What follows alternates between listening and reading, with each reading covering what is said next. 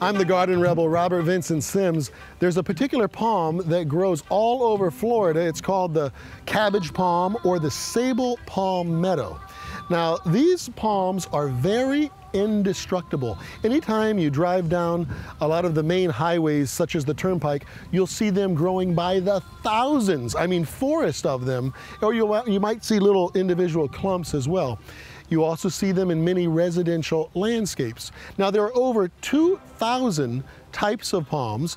Uh, the cabbage palm is not necessarily, you know, the most striking or the most beautiful, but a lot of people do have it. And one good thing about it is these big, when they're big, they're, they're not that expensive because there's so many of them.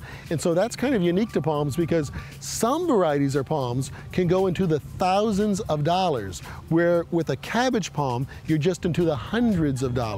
Now here's uh, a few little tips that you need to know, not only about the cabbage palm, but many other palms as well. For food, they like chelated iron, they like magnesium sulfate, they like manganese sulfate, and they love palm food. This tells you, friends, that they're heavy feeders. Feeding takes part about three to four times a year. If you have a palm that's ever chlorotic, which means yellowing, you just keep those nutrients on it and that will green it up, usually in one season or less. Now, these parts of the palm on the trunk are called the boots. These boots are simply the old fronds because remember the palm grows away from you so they die because they, they're not meant to stay with the palm forever. So you just simply cut them off, nice clean cuts and some people like them, some people don't like them but uh, I, I kind of like the look and I'll tell you why. If you put a night light on these in, in the evening, it, it creates a whole new texture and adds a whole new dimension to your yard. Now this happens to be a Florida native fern. It's called uh, Polypodium aureum or the bear's paw fern. And it will go through a little dormancy and get some brown. These are the older fronds, which is normal. It just grows wild. It's a very pretty fern. It makes a beautiful hanging basket too, by the way.